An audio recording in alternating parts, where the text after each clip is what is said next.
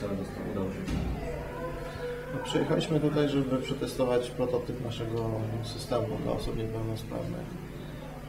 Udało nam się z, przy pomocy kilku osób i sprawnych i e, niepełnosprawnych mm, e, zrobić parę prób testów e, i okazuje się, że urządzenie wcale nie tak źle działa ale, ale, ale mamy sporo, sporo nowych, nowych tutaj obserwacji i wiemy, wiemy jak dalej taki system rozwijać. Widzimy nowe problemy, tak? Inaczej ta konfrontacja z osobami niepełnosprawnymi szczególnie pokazała nowe kierunki.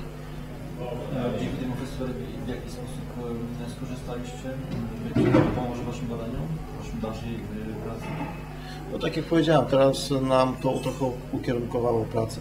Widzimy jak, jak teraz trzeba pracować, że, że troszkę od innej strony trzeba spojrzeć na, na, na projektowanie tego systemu bardziej już aplikacyjnie, czyli z punktu widzenia osoby takiej niepełnosprawnej, użytkownika docelowego.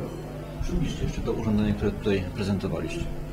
E, To jest urządzenie, czy może nazwijmy to bardziej systemem, który umożliwia osobom niepełnosprawnym ruchowo em, komunikowanie się z otoczeniem ogólniej mówiąc, a w przypadku tego prototypu, który tutaj był, do obsługi komputera, do na przykład pisania jakiegoś tekstu czy, czy uruchamiania aplikacji. E, Przy czym mo, może to być użyte do, do, do innych celów, może taka osoba niepełnosprawna komunikować e, drugiej osobie, jeżeli nie ma możliwości też mówienia, e, komunikowania swoich potrzeb. Dziękuję bardzo.